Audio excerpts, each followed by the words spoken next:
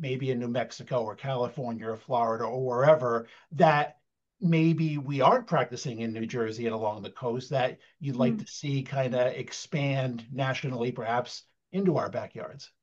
That's a great question. Um, yeah, I I do think there are blanking out a little bit on some of them, but um, I think one of the biggest things is are these places that are uh, getting better alert systems.